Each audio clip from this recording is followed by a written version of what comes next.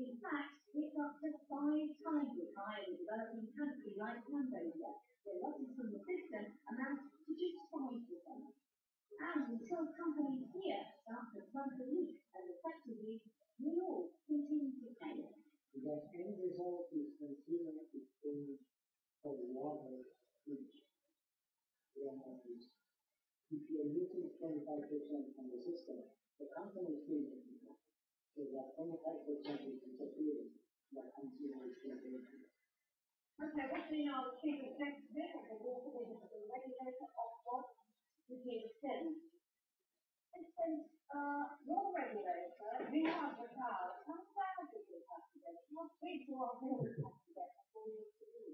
But what is really important for us is to that we are elections within London Council without our challenge over the years, for those who will the charging the day, the year to ten percent higher. Uh, but crucially, the reason for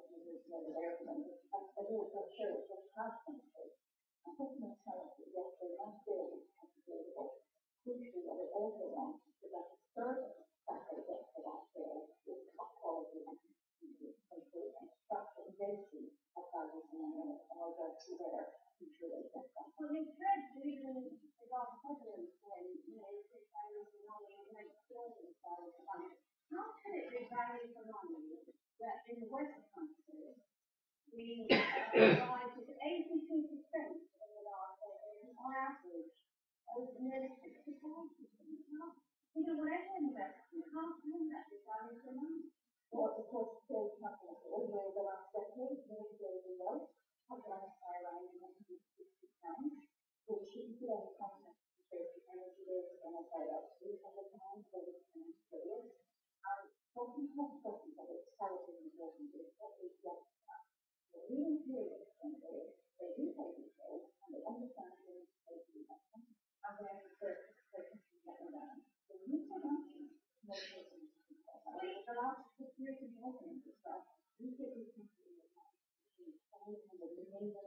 Yes, but where's that money coming from?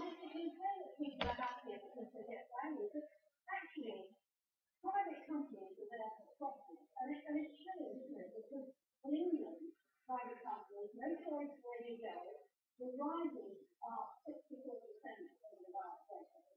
And if in Scotland, where they're not privatised, of course, it is privatised, it's less than twenty-eight percent. But I mean, it's really serious question because the asks us, why are in we raise this question, and if you look at a place like the Senate government, is you don't get very. If you look at an area, sorry, Well, we haven't got much time, you're gonna talk about Severn Trent. Tony Wray's Severn Trent, pocketed one million in salary last year.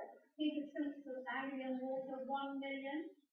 Steve one point four million. It's very hard for customers to see their bills run. And, and people like that taking things